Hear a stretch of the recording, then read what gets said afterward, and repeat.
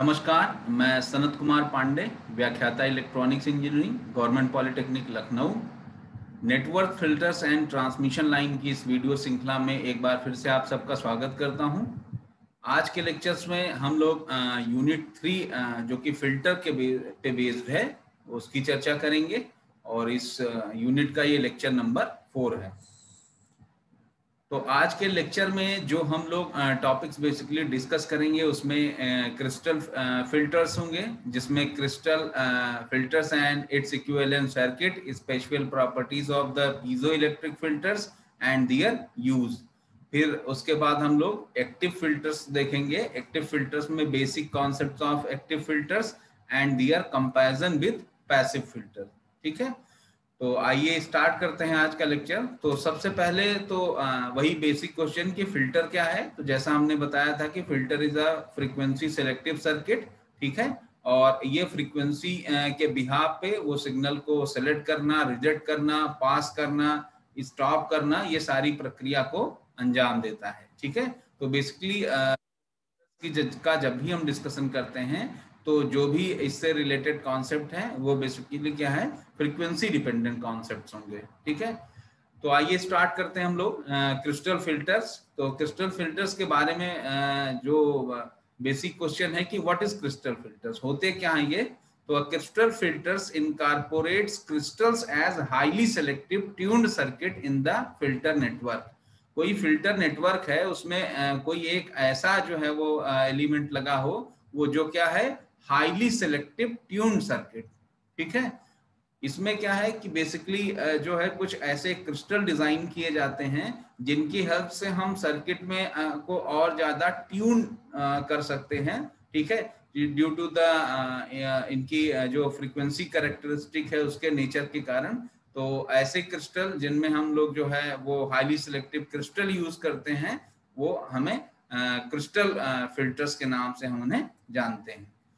Question उठता है कि क्रिस्टल फ़िल्टर की ज़रूरत क्यों पड़ी? जब हमारे पास पैसिव में बहुत सारे फिल्टर्स थे, जैसे आरसी का यूज़ करके एलसीआर का यूज़ करके हम लोगों ने डिफरेंट टाइप के फ़िल्टर डिज़ाइन किए थे पिछले लेक्चर्स में तो बेसिकली इनकी ज़रूरत क्यों पड़ी? तो crystal filters consumes zero DC power ठीक है?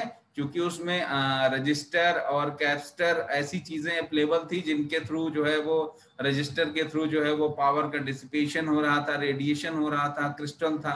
जब कैप्स्टर था तो कैप्स्टर अपने को चार्ज करने में पावर यूज़ कर रहा होगा। But in case of the crystal filters चूँकि इसमें ऐसी कोई एलिमेंट्स नहीं होते हैं, ठीक है? इसलिए ये ज़ीरो डीसी पावर और लेस कॉस्ट इनकी कॉस्ट भी कम होती है। Can have small signal losses ठीक है? While being extremely selective and almost possible to overload ठीक है? इसमें कोई ओवरलोड की संभावना नहीं होती है। ओवरलोड ऑलमोस्ट इम्पॉसिबल होता है। और दूसरा क्या है, जो सबसे बड़ी कैरेक्टरिस्टिक इसकी ये है कि इसकी जो है ज़ीरो डीसी पावर कंज्यूम करता है। लेस कॉस्ट है इसकी ठीक है? Can have small signal losses while being extremely selective सबसे uh, जो मेन क्वालिटी है कि इसमें फ्रीक्वेंसी जो सिलेक्टिविटी हो बड़ी शार्प है ठीक है? अभी तक हम लोग जो क्रिस्टल पढ़ रहे थे उसमें आप डायग्राम uh, जब देख रहे थे तो क्या था? उसका करेक्टरिस्टिक जो एक्चुअल डायग्राम होता था उसमें बेसिकली अगर हम लो पास की बात करते थे तो पास बैंड के अलावा भी हमारा सिग्नल क्या होता था? कुछ पोर्शन इसका पास हो जाता था ठीक है? जो कि किसी फ़िल्टर के पॉइंट ऑफ़ व्यू से जो है वो अच्छा नहीं माना जाएगा। और in case of the crystal filters की हम बात करें तो इसमें बेसिकली जो आपका ये नेचर होगा वो आ, कुछ हद तक उसमें शार्पनेस होगी। ठीक है? तो इसीलिए हम कह रहे हैं एक्सट्रीमली सिलेक्टिव बिहेवियर है इसका। ठीक है? अब नेक्स्ट uh, क्वेश्चन uh, जो इसमें है कि क्रिस्टल uh, फिल्टर्स की ज़रूरत क्यों पड़ी और टाइप्स ऑफ़ क्रिस्टल फिल्टर्स की हम लोग बात करें तो band pass band reject and notch filters are popular in using crystals for designing ठीक है? There are three types of the crystal filters कौन कौन से हैं? Single crystal filter half lattice crystal filters and ladder crystal filters तो अब इनको diagram से हम लोग समझते हैं। एक एक करके कि सिंगल फिल्टर्स क्रिस्टल फिल्टर्स क्या है? कि बेसिकली इनके डायग्राम में आप देखिए तो इसमें क्या है कि एक पीजो क्रिस्टल यूज़ होकर इस फ़िल्टर का निर्माण किया गया है इसलिए हम ऐसे फिल्टर्स को क्या कहते हैं? सिंगल क्रिस्टल फिल्टर्स ठीक है? This type of RF filters was developed in 1930 used in early uh, receivers uh, dating from before the 1960 but is rarely use today ठीक है? आजकल हम इसे नहीं यूज़ कर रहे हैं। Its response is asymmetric. It is too narrow of most applications. Having a bandwidth of the 100 hertz or less, ठीक है? 100 हर्ट्ज से ऊपर के फ्रीक्वेंसी के लिए हम लोग इसको नहीं यूज़ कर पाते। Schematic here is filter using single crystal ठीक है? तो सिंगल क्रिस्टल इसमें यूज़ होता है, इसलिए इसका नाम क्या है? Single crystal filter variable capacitor in the circuit is use to compensate for the parasitic capacitance in the crystal ठीक है? क्रिस्टल के जो पैरासिटिक कैपेसिटेंस इंड्यूस हो रहे होंगे, उसको हम मैनेज करने के लिए जो है, वो यहाँ पर एक जो है, वो वेरिएबल कैपेसिटर यूज़ कर रखे हैं। पैरेलल में किसके? अपने जो हमारा क्रिस्टल फिल्टर्स है, उसके। ठीक है? तो इसमें अगर हम सेकेंड टाइप का जो हमारा फ़िल्टर है, उसकी बात करें हाफ़ लैटिस टाइप तो हाफ़ लैटिस टाइप में बेसिकली क्या है कि हाफ़ लैटिस टाइप जो हमारा क्रिस्टल है बेसिकली आप इसमें देखिए कि दोनों साइड में जहाँ आप लोग पैरासिटिक कैप्स्टेंस को रिमूव करने के लिए आप फ़िल्टर वेरिएबल कैप्स्टर यूज़ कर रहे थे, उसके जगह हमने क्या किया कि यहाँ पर एक क्रिस्टल फिल्टर्स को ही इंट्रोड्यूस कर दिया और इस तरीके से जो इसका इम्पीडेंस का रिस्पांस है, वो एज कंपेयर टू जो हमारा पिछला फ़िल्टर हम लोगों ने देखा था उसके कंपैरिजन में ये कुछ इम्प्रूव्ड वर्जन शो करेगा। ठीक है? तो इस तरीके से जो हमारा हाफ़ लैटिस फ़िल्टर है, इसकी जो इम्पीडेंस और फ्रिक्वेंसी कैरेक्टरिस्टिक है as compare to the single crystal filters की बात करें तो कुछ इम्प्रूव्ड होगी ड्यू टू द इसमें बेसिकली डैम्ड ऑक्सोलेशन की संभावना होगी, क्योंकि इसमें हमने दो क्रिस्टल यूज़ कर सक किए हैं। और इसकी और कैरेक्टरिस्टिक अभी आगे के लेक्चर्स में हम लोग लेक्चर में हम लोग देखेंगे, ठीक है? फिर क्रिस्टल लैडर फिल्टर्स की बात करें तो क्रिस्टल लैडर लैडर बेसिकली क्या होता है? जब हम सर्किट में एक कैस्केडिंग के फॉर्मेट में कई सारे जो है वो एलिमेंट्स कनेक्ट कर देते हैं, ठीक है? या एक सीढ़ी नुमा संरचना बनाते हैं तो क्रिस्टल लैडर फिल्टर्स की अगर हम बात करें तो इसके इस डायग्राम में आप देखें कि बेसिकली है क्या? कि कैप्स्टन कैप्स्टन्स को हम लोग शंट में कनेक्ट किए हैं और उसके पैरेलल में क्या है कि क्रिस्टल कैप्स्टर्स को जो है हमने यहाँ पर क्रिस्टल फिल्टर्स को कनेक्ट कर रखा है, ठीक है? और तो बेसिकली जो ध्यान देना है आपका, आपको कि जो शंट सीरी, लाइन है हमारी, शंट लाइन में बेसिकली क्या है, कैप्स्टर्स कनेक्टेड हैं और जो सीरीज़ लाइन है आपकी, वहाँ आपका बेसिकली क्या है, क्रिस्टल जो है वो फिल्टर्स कनेक्टेड हैं और ऐसे स्ट्रक्चर को हम लोग किस नाम से जानते हैं? क्रिस्टल लैडर फ़िल्टर ठीक है? एक सिंगल यूनिट को लेके, जैसे मान लीजिए ये आपका एक सिंगल यूनिट कोई फ़िल्टर का था जो है, इसको आपने कई सारे यूज़ करके एक लेडर का निर्माण कर रखा है। ठीक है? इसलिए हम लोग इसको क्रिस्टल लैडर फ़िल्टर के नाम से जानते हैं। ठीक है? अब इसकी कैरेक्टरिस्टिक की बात करें तो for many years The half lattice filters was possibly the most popular format used for the crystal filters More recently, the uh, latter topology has gained considerable acceptance in this form of crystal passband filter. All the resonators have the same frequency. जितने भी इसमें resonator circuit बनेंगे सभी क्या है एक single frequency पे कार्य कर रहे हैं In resonator coupling is provided by the capacitors placed between the resonator with the other termina termination connected uh, to earth. ठीक है? सिमेट्रिक डायग्राम आपके सामने है लेटर का ठीक है? तो स्ट्रक्चर देख के आप पहचान सकते हैं और इसमें ऑब्जेक्टिव क्वेश्चन अगर आए तो इसके स्ट्रक्चर से भी आप इसको पहचानेंगे और मेन इसमें आपको ध्यान रखना है कि क्या है? सीरीज़ में हमने क्रिस्टल कैस्टल क्रिस्टल फिल्टर्स यूज़ कर रखे हैं। और जो हमारा शंट है सर्किट है, उसमें हम लोगों ने कैप्स्टर यूज़ कर रखा है, ठीक है? एडवांटेजेस और इसके डिसएडवांटेजेस की बात करें तो बहुत सारे एडवांटेजेस डिसएडवांटेजेस हैं। मतलब अगर हम कंपैरिजन की बात करें तो जो आपने अभी तक कन्वेंशनल फ़िल्टर पढ़े थे, चाहे हाई पास लो पास कई टाइप के m derived filter constant k filters तो उसमें क्या है कि बेसिकली क्या हम लोग अभी तक पैसिव एलिमेंट जो थे, उनका यूज़ करके मतलब रजिस्टर कैपेसिटर और इंडक्टर का यूज़ करके हम लोग कैपेसिटर की डिज़ाइन कर रहे थे। बट यहाँ पे क्या है, हम क्रिस्टल का यूज़ करके वो फ़िल्टर को डिज़ाइन कर रहे हैं, क्योंकि क्रिस्टल किसी पर्टिकुलर फ्रीक्वेंसी पे बहुत एक्यूरेटली वर्क कर रहा है, इसलिए हम लोग इसको क्रिस्टल फिल्टर्स के नाम से जानते हैं। ठीक है, अब इसके एडवांटेजेस क्या हैं? तो सबसे बड़ा जो इसका एडवांटेज है कि इसका जो क्यू फैक्टर होता है वो बहुत हाई होता है, ठीक है? तो crystal resonators have very high Q value and excellent temperature temperature and aging characteristic ठीक है? हाई टेम्परेचर बेसिकली है क्या? कि हाई टेम्परेचर या लो टेम्परेचर में भी जो हमारा क्रिस्टल फ़िल्टर है, उसकी जो एक्टिविटी है, उसका जो परफॉर्मेंस है, उस पर बहुत इफ़ेक्ट नहीं पड़ता है। These benefits are translated to the filter so that very narrow band width and highly selective filters can be achieve ठीक है? बहुत नैरो बैंड विथ का और हाई सिलेक्टिविटी का फिल्टर्स की जब हमें ज़रूरत होती है तो हम बेसिकली वहाँ पर वो क्रिस्टल फिल्टर्स को एडवांटेज देते हैं, ठीक है? फिर उसी में है कि इसकी जो टेम्परेचर रेंज वगैरह है माइनस फोर्टी फाइव से plus eighty five degree centigrade तक कार्य कर सकता है। एजिंग जो है वो narrow and intermediate band crystal filter is almost basically है क्या कि जो टेम्परेचर और प्रेशर या हम एजिंग से रिलेटेड कॉन्सेप्ट की बात करें तो इन सभी में जो हमारा क्रिस्टल फिल्टर्स होता है, उसकी परफॉर्मेंस अच्छी होती है, ठीक है? This make crystal filters ideally suited for the phase match application क्योंकि इसकी फ्रीक्वेंसी जो है शार्प एजिंग है, इसलिए हम कह सकते हैं कि ये किसके लिए? फ़ेज़ मैच एप्लीकेशन के लिए बेस्ट है, ठीक है? Because of high q values available from the crystals, ठीक है? Very narrow and very selective filters can be made ठीक है? क्योंकि इसका क्यू वैल्यू क्या है? बहुत हाई होता है, इसलिए हम इससे सेलेक्टिव फिल्टर्स की जब ज़रूरत होती है तो हम बेसिकली क्रिस्टल फिल्टर्स को जो है, वो प्रिफर करते हैं, ठीक है?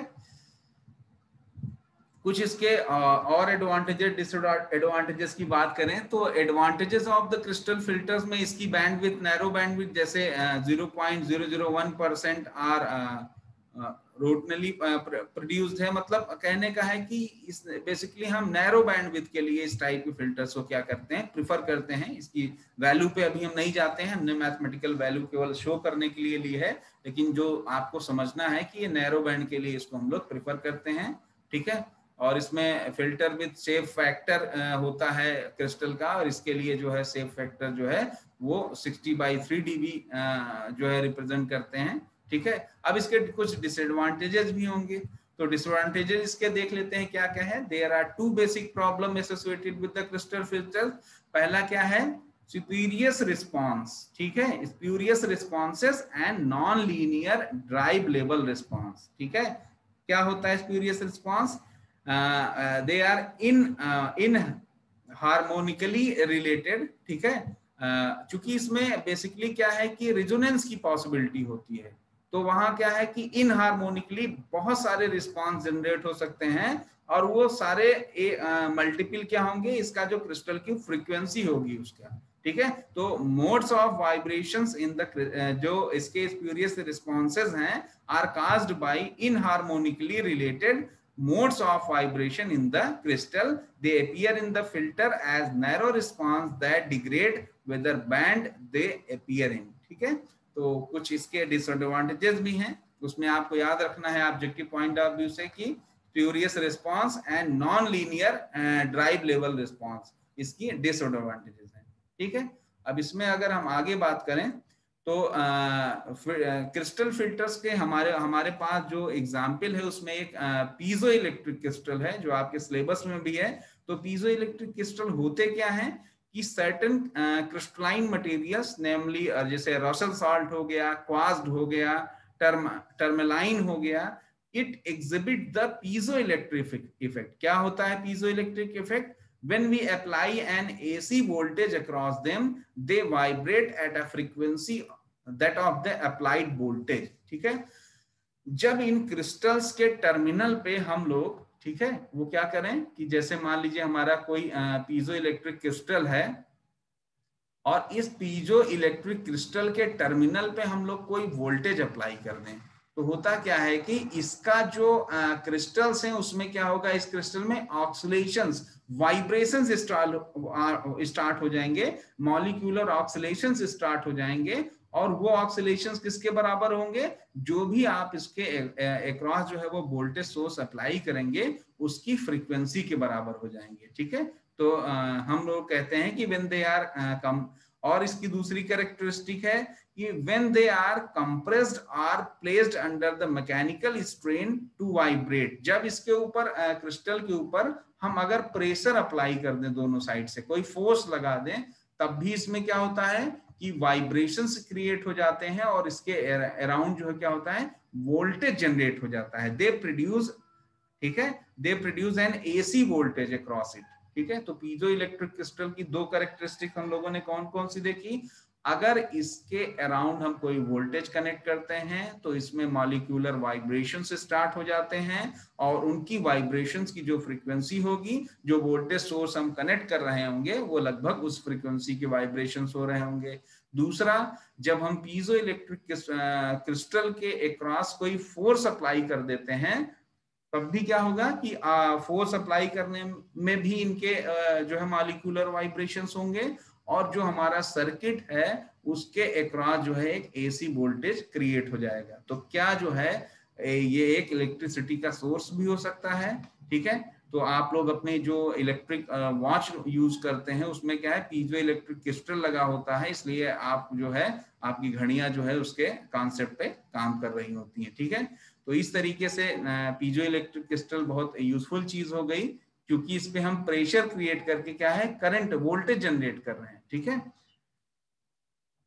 और इसमें हम पीजो इलेक्ट्रिक क्रिस्टल की अगर बात करें, ठीक है तो such crystals which exhibits piezo electric effect are known as the piezo electric crystals of the various piezo electric crystals the most commonly used is the quartz crystal quartz crystal जो है बहुत पॉपुलर जो है piezo electric crystal होता है ठीक है?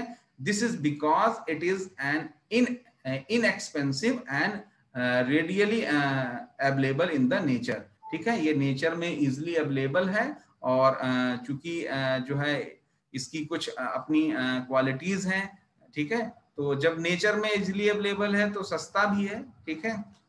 इसलिए हम इसको प्रिफर करते हैं। लेकिन ऑब्जेक्टिव पॉइंट ऑफ़ व्यू से आपको ध्यान रखना है कि कौन कौन से मटेरियल में जो वो पीजो इलेक्ट्रिक इफ़ेक्ट पाए जाते हैं। अगर ऐसा कभी क्वेश्चन आता है तो आप उसमें कह सकते हैं कि रोसल सॉल्ट क्रिस्टल हो गया, ठीक है? ये याद रखना है हम लोगों को। रोसल सॉल्ट क्रिस्टल हो गया क्वार्ट क्रिस्टल हो गया, ठीक है? टर्मलाइन क्रिस्टल हो गया, ठीक है? तो इन सभी में क्या है? Piezo electric effect. तो पीजो इलेक्ट्रिक इफ़ेक्ट मैंने आपको बताया कि या तो इन क्रिस्टल के अराउंड हम वोल्टेज कनेक्ट करें तो इसमें वाइब्रेशन होने लगेंगे। अराउंड हम प्रेशर कनेक्ट करें, ठीक है? जैसे इस पे प्रेशर अप्लाई करें, तब भी इसमें क्या है कि वाइब्रेशंस क्रिएट होंगे और इसमें एसी वोल्टेज जनरेट हो जाएगा। तो इसी को हम लोग बोलते हैं पीजो इलेक्ट्रिक इफ़ेक्ट। ठीक है? और ऐसे जो है वो बिहेवियर को शो करने वाले क्रिस्टल्स को हम लोग पीजो इलेक्ट्रिक क्रिस्टल के नाम से जानते हैं। ठीक है?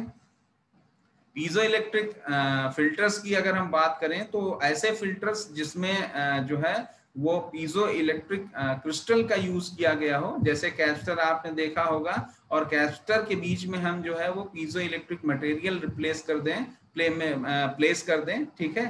तो ऐसे क्रिस्टल हमारे जो है वो पीजो इलेक्ट्रिक क्रिस्टल होंगे तो quartz crystal are generally used in the crystal oscillator because of their great mechanical strength and simplicity the shape of the quartz crystal is hexagonal जैसा कि डायग्राम में शो किया गया है। इसकी तीन एक्सिस हैं X axis Y axis and Z axis ठीक है? तो क्वार्ट्ज की अगर हम इसकी फ्रीक्वेंसी की बात करें जो हमारा पीजो इलेक्ट्रिक क्रिस्टल को यूज़ करके जो हमारा फ़िल्टर डिज़ाइन किया गया, ठीक है?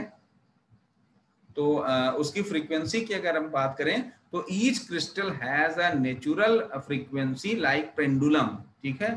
The natural frequency F of a crystal is given by F is equal to K by T ठीक है? ये आपका फार्मूला है, जो इसका फ्रीक्वेंसी जो है वैल्यू हमें बताएगा।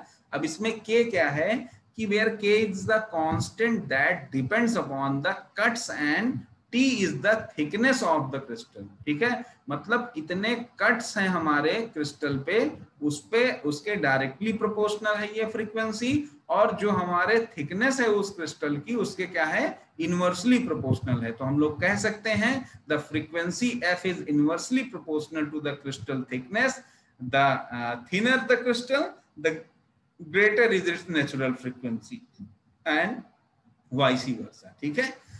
तो इसमें जो आपकी क्रिस्टल की फ्रीक्वेंसी है, वो किस पर डिपेंड कर रही है? थिकनेस के इनवर्सली प्रोपोर्शनल है।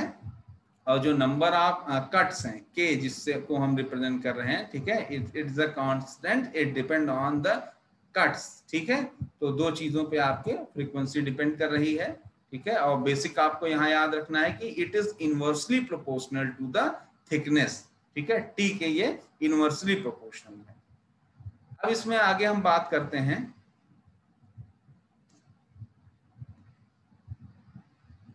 फ्रीक्वेंसी के बाद जो है, अब इसकी एनालिसिस की हम बात करें, ठीक है? जो हमारा पीजो इलेक्ट्रिक फ़िल्टर है, उस पीजो इलेक्ट्रिक फ़िल्टर बेसिकली आपको समझ में आ गया होगा कि पीजो इलेक्ट्रिक मटेरियल का यूज़ करके जब हम लोग फिल्टर्स डिज़ाइन करते हैं तो उसको हम लोग पीजो इलेक्ट्रिक फिल्टर्स के नाम से जानते हैं, ठीक है? कैप्स्टर दोनों कैप्स्टर की प्लेट के बीच में हम लोग स्लैब में जो है, वो क्या प्लेस कर दें? पीजो इलेक्ट्रिक मटेरियल तो ऐसे फिल्टर्स को हम लोग पीजो इलेक्ट्रिक फिल्टर्स करते हैं। अब इसकी वर्किंग की बात करें, ठीक है? तो वर्किंग विथ क्वार्ट्ज क्रिस्टल में कैसे वर्क करता है? तो in order to use crystal in an electronic circuit it is placed between the two metal plates वही जो मैंने बताया कि कैस्टर की टू मेटल प्लेट्स होंगी, उनके बीच में इसको प्लेस कर दिया जाएगा पीजो इलेक्ट्रिक मटेरियल को।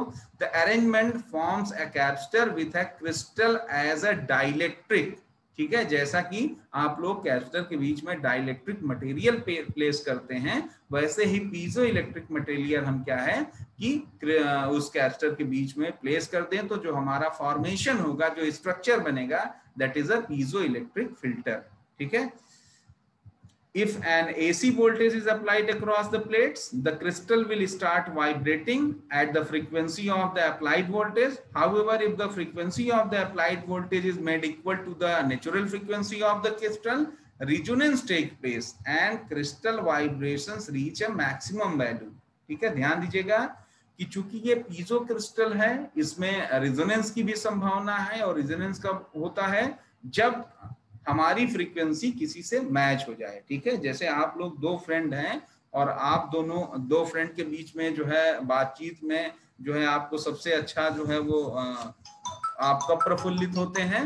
जब दोनों के विचार, आचार विचार दोनों मैच कर रहे होते हैं तो फ्रेंडशिप की बॉन्डिंग क्या होती है? स्ट्रांग होती है। तो यहीं पे अगर हम पीजो इलेक्ट्रिक फिल्टर्स के रेफरेंस में बात करें तो जब हमारे फ़िल्टर की जो फ्रीक्वेंसी है, फ्रीक्वेंसी का मतलब क्या है कि जो डिपेंड कर रही है उसकी थिकनेस पे और टी वैल्यू पे तो है बेसिकली क्या कि जब हमारा फ़िल्टर का जो जो क्रिस्टल की फ्रीक्वेंसी है, वो अप्लाई की गए वोल्टेज की फ्रीक्वेंसी से अगर मैच कर जाएगा तो उस समय क्या हो रहा होगा कि हमारा जो है वो रिजोनेंस की कंडीशन आ जाएगी। ठीक है? जब इंटरनल फ्रीक्वेंसी अप्लाइड फ्रीक्वेंसी से मैच कर जाएगी तो रिजोनेंस हो जाएगी और रिजोनेंस हो जाएगी तो बस वही, जैसे आपका, आपके फ्रेंड से जब आचार विचार मैच कर जाता है तो आप लोग उस पल को एंजॉय कर रहे होते हैं, ठीक है? तो उसी तरीके से क्या होगा? वाइब्रेशंस क्रिएट हो गए और वाइब्रेशंस जो क्या होगा? मैक्सिमम वैल्यू के होंगे, ठीक है? मैक्सिमम वैल्यू के होंगे। तो यही बेसिकली क्या है कि पीजो क्रिस्टल की खूबसूरती है कि पर्टिकुलर फ्रीक्वेंसी पे जब रिजोनेंस की घटना होगी तो उस रिजोनेंस की घटना को, की जो फ्रीक्वेंसी है सिलेक्टिव फ्रीक्वेंसी उस पर हम इस पे शार्पनेस प्रोवाइड कर सकते हैं और ये हम इसको फ्रीक्वेंसी सिलेक्टिव क्रिस्टल की तरह फ़िल्टर की तरह यूज़ कर सकते हैं, ठीक है?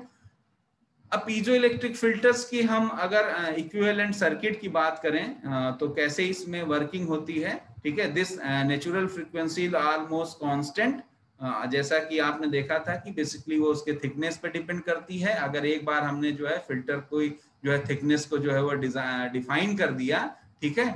तो क्या होगा? इसकी फ्रीक्वेंसी क्या हो जाएगी? फिक्स हो जाएगी, ठीक है? और वो फ्रीक्वेंसी अप्लाई किए गए वोल्टेज से अगर मैच कर जाएगी तो क्या हो जाएगा? रेजोनेंस हो जाएगा, ठीक है? The effect of temperature can be controlled by mounting the crystal in the temperature controlled oven as in the radio and television transmitters ठीक है? ये basically radio and television transmitters में भी यूज़ होते हैं। वहाँ हम इसको जो है वो टेम्परेचर कंट्रोल्ड ओवन में रखते हैं, ताकि इसका जो है बहुत टेम्परेचर का वेरिएशन ना हो पाए।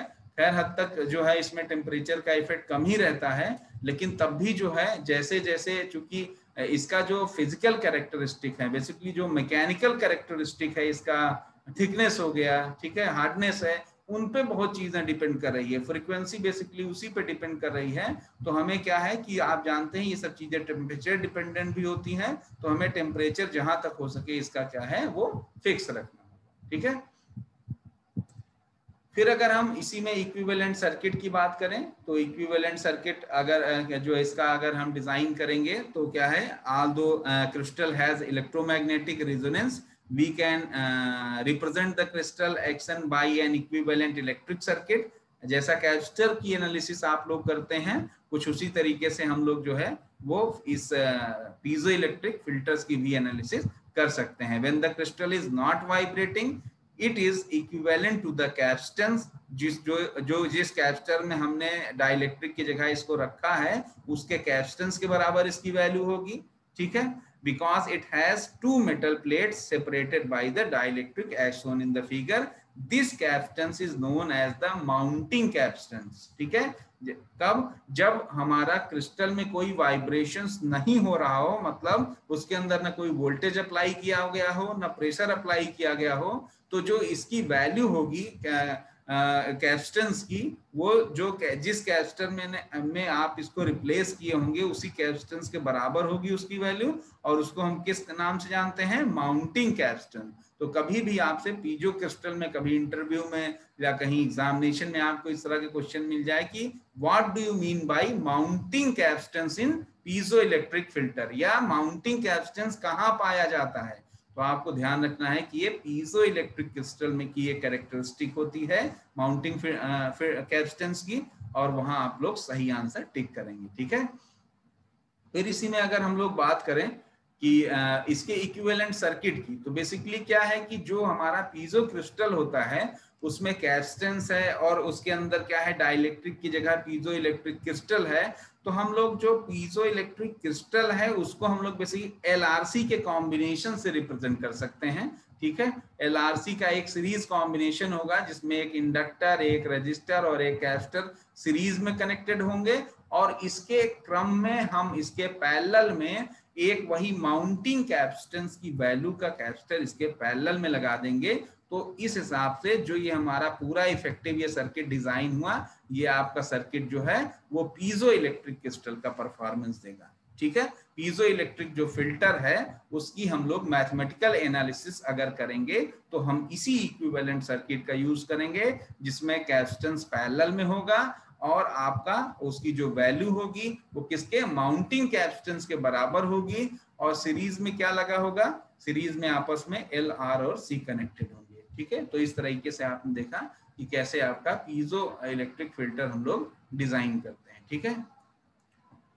फिर इसी में हम लोग आगे बात करते हैं कि इसी यूनिट का जो नेक्स्ट पार्ट है आपका, वो एक्टिव फिल्टर्स पे बेस्ड है। तो एक्टिव फिल्टर्स क्या होते हैं कि बेसिकली वो फिल्टर्स जिसमें हम बेसिकली कुछ ऐसे एलिमेंट्स यूज़ करें जो हमारे सिग्नल को एम्पलीफाई करने की कैरेक्टरिस्टिक रखते हो, जैसे ऑपैम्स होते हैं, ठीक है?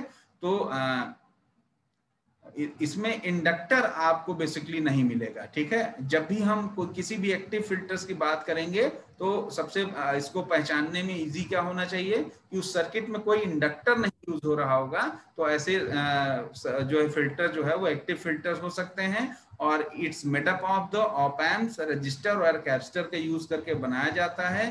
Generally much easier to design इनका डिज़ाइन इजी होता है compare to passive filters and any other filter high input impedance prevent excessive excessive uh, loading of the uh, driving uh, sources ठीक है the low output impedance prevents the filters from being affected by the load ठीक है loading effect इसमें कम होता है ठीक है at high frequencies is uh, limited by the gain bandwidth of the op uh, जो ऑपरेशनल एम्पलीफायर यूज़ कर रहे हैं उसके हिसाब से मैनेज किया जाएगा easy to adjust over the wide frequency range without altering the desired response, ठीक है? इनको हैंडल करना भी ईजी होता है, ठीक है? अब इसके हम सर्किट के बारे में बात करें, अगर एक्टिव फिल्टर्स के तो हमारे सामने बहुत सारे फिल्टर्स के डिज़ाइन है, जिसमें active single pole low pass filter basically ये लो पास फिल्टर्स हैं, जिनको हमने ऑप एम्प और रजिस्टर कैपेसिटर का यूज़ करके डिज़ाइन किया है, ठीक है? तो बेसिकली हम इसकी कट ऑफ़ फ्रीक्वेंसी की बात करें तो F C is equal to one upon two pi R one C one जहाँ आर वन क्या है आपका? जो रजिस्टर आपका कनेक्टेड है और सी वन क्या है? जो कैस्टर कनेक्टेड है ठीक है? इसी तरह से इसका जो आ, मतलब गेन कितना हो रहा है उसकी वैल्यू अगर निकालें तो R two upon R one plus one होगा। आर टू क्या है? जो आपने शंटिंग रजिस्टर यूज़ किया होगा ठीक है? उसकी वैल्यू होगी ठीक है? इसी तरीके से अगर हम इसकी जो है वो शंटिंग वाली जो हमारी सर्किट है, यहाँ तो शॉर्ट है, यहाँ शंट में अगर रजिस्टर है तो हम इसमें क्या देखें कि जो बाईपास आपने यूज़ किया है ब्रिज शेप में, अगर उस सर्किट का जो है वो फ्रीक्वेंसी कनेक्ट कैलकुलेट करें तो F C is equal to one upon two pi R three C one ठीक है? तो ध्यान रखना है कि जब हम लोग इसकी कट ऑफ़ फ्रीक्वेंसी को कैलकुलेट करना हो तो इस पोर्शन में जो भी रजिस्टर कैप्चर लगा होता है उनका मल्टीप्लीकेशन होता है डिनोमिनेटर में ठीक है? और जब इसकी एवरेज की बात करते हैं तो जो आ, जो आपने यहाँ पर कनेक्ट कर रखा है ब्रिज में ये रजिस्टर रजिस्टर और इसके साथ में जो ग्राउंड किया हुआ रजिस्टर है उन दोनों का क्या होता है? रेशियो होता है प्लस वन ठीक है? तो इस तरीके से जो है हम लोगों ने, अब इसमें इन्वर्टिंग और नॉन इन्वर्टिंग इन सब चीज़ों का भी कॉन्सेप्ट होता है। तो जब आप इसको आप पढ़ेंगे अपने सिलेबस में तो समझ पाएँगे कि कैसे जो है नॉन इन्वर्टिंग कैसे इन्वर्टिंग जो है वो ऑप एम्प डिज़ाइन होते हैं। यही मगर इन्वर्टिंग विद वोल्टेज इन्वर्टिंग जो हमारा ऑप एम्प है फ़िल्टर ठीक है, उसके अगर गेन की बात करें तो इन्वर्टिंग के केस में जो वोल्टेज गेन ए बी है, वो क्या हो जाएगा? Minus R two upon I one और यहाँ फ्रीक्वेंसी हो जाएगी। F C is equal to one upon two pi R two C one जहाँ आर टू आपका यही जो आपने शंट में जो आपने लगा रखा है रजिस्टर और सी वन आपका जो कैपेसिटेंस आपने लगा रखा है उसमें, ठीक है? तो नॉन इन्वर्टिंग और इन्वर्टिंग इसमें दो केस होते हैं। नॉन इन्वर्टिंग और इन्वर्टिंग दोनों की आपको कट ऑफ़ फ्रीक्वेंसी का फार्मूला और वोल्टेज गेन का फार्मूला याद होना चाहिए। ऑब्जेक्टिव एग्जामिनेशन में कंपटीशन में यही सब क्वेश्चन होंगे जो आपको अदर कैंडिडेट से जो है वो लीड दिलाएँगे, ठीक है? क्योंकि इन, इतनी बारीकी, सभी स्टूडेंट बारीकी से नहीं पढ़ते हैं। अगर आप लोग इन सब चीज़ों को ध्यान दे के पढ़ेंगे तो मैं श्योर हूँ कि आपको भविष्य में सफलता ज़रूर मिलेगी, ठीक है?